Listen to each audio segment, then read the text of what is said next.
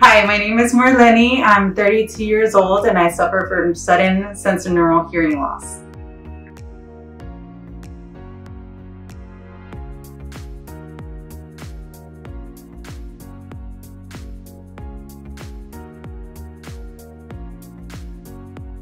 Well, it all kind of happened um, in 2019 actually. It was uh, the day before of my birthday of turning uh, 30.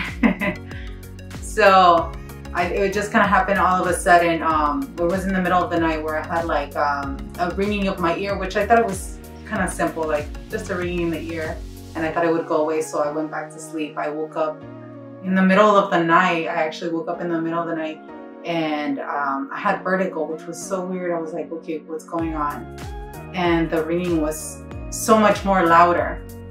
And um, I was worried of calling off for work because I, I thought they were probably gonna think like, oh, she's calling off work because it's her birthday, you know, the next day.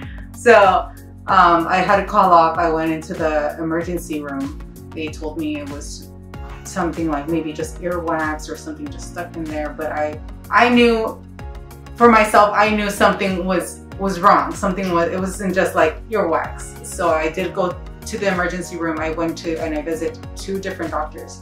All of them basically were saying like, oh, it's nothing too serious.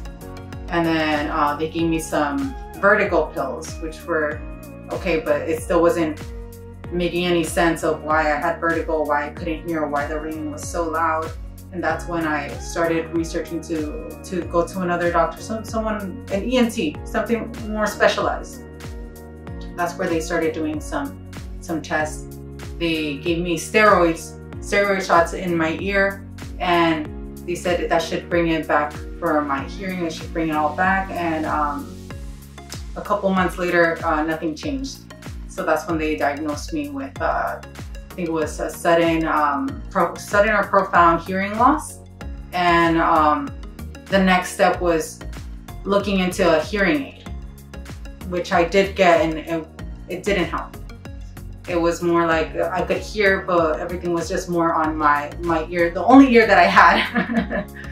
and um, that's when I decided to look into something else like more um, that would be more beneficial for, for my other ear, my hearing loss and that's when I found Dr. Uh, Voelker and she specialized in cochlear implants. She's the one who suggested that I would be a perfect candidate for a cochlear implant. And I decided, you know what, like that's if that's the next step, I think I'm gonna go ahead and do the cochlear implant. So that was um it was a it was a very like tough decision for me to decide, you know, like I'm actually gonna get a surgery. I've never had surgery, and especially on my on my head. So it was a little bit scary. I did take a, a second to think about it, but I, I was more more than anything, I was excited to just go ahead and do it. You know, um, what am I gonna lose in reality? I already can't hear. So if anything, it's just gonna help me a little bit more to hear. So I was like, I have nothing to lose. I'm like, if it doesn't work, it, I mean, I was already like not hearing. I was already not hearing. So if anything, it would it would help me. Yeah. So um, that's when I decided to get the cochlear implant, and um, I was very excited. And I still am very excited. Uh, I've been on this journey journey with uh, Dr. Lewis, and it's been it's been so amazing the way that she's helped me, um, and I, have been able to hear I actually never thought I would be able to hear anything. but now, um, yeah, I'm, I'm, super excited to continue on this journey to be able to hear a little bit better each time I come and I'm so surprised that I can hear every time a little bit more, a little bit more. And uh, I'm just so excited to continue, to continue helping myself like to hear better, to be able to go back to at least back to normal a little bit, you know, not completely because I know it's not going to be the same, but to be able to hear better. Yeah. Mm -hmm.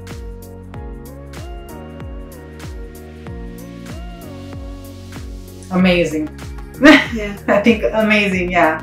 Just because I I never thought I would be back here being able to hear and it's just amazing how technology, you know, like who would have thought like, yes, let's make you hear again, you know? There's this little implant thing that we put in your head and you're gonna be able to hear again. It's just, let's just say it would be unrealistic in a world, but the technology that we have is just amazing, you know?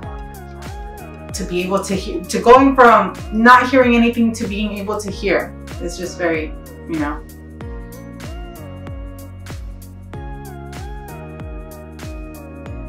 Oh, I don't want to get emotional, but um, definitely my family. Yeah. Dr. Lewis and um, Dr. Voelker. You really get to know the people that are there for you, honestly.